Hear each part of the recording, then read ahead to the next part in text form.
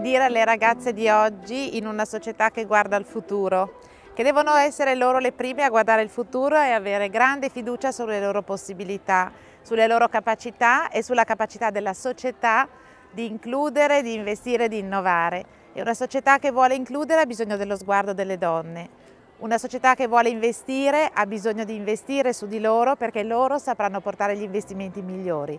E una società che vuole innovare ha bisogno della creatività femminile. E questo è il grande messaggio che Armida Barelli ci consegna e sul cui esempio noi dobbiamo andare avanti.